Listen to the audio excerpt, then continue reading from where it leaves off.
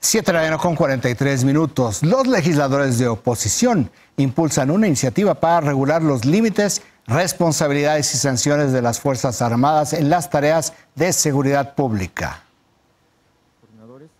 La oposición en la Cámara de Diputados presentó una iniciativa por la que se crea la ley que regula la presencia de las Fuerzas Armadas en tareas de seguridad pública. La ley establece los principios mínimos para la disposición de las instituciones de la Fuerza Armada Permanente en tareas de seguridad pública, establece el procedimiento y las condiciones para solicitar la colaboración del personal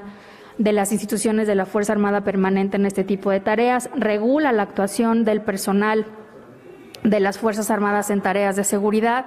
establece los límites en los que las instituciones de la Fuerza Armada Permanente pueden actuar en tareas de seguridad, los supuestos en caso de imposición de sanciones correspondientes.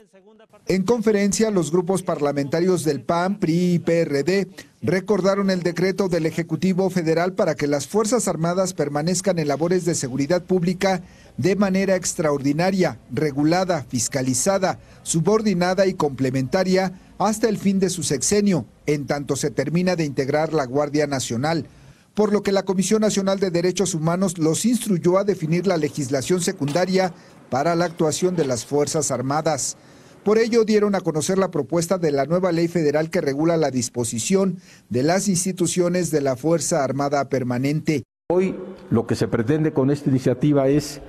precisamente darle esa certeza jurídica, esa regulación necesaria, con plena observancia y respeto a los derechos humanos, para que nuestras Fuerzas Armadas puedan tener ese sustento legal para cumplir con esta tarea que se le está encomendado de ayudar a la consolidación de la paz a través de tareas de seguridad pública. Esta iniciativa pretende generar un instrumento por el que no solo se establezcan reglas claras para la participación de las Fuerzas Armadas en materia de seguridad pública, sino para que desde la sociedad civil, la academia y los organismos públicos de derechos humanos se establezca una supervisión constante de las acciones que se implementen. Morena no se pronunció sobre el tema. Héctor Guerrero, Noticieros Televisa.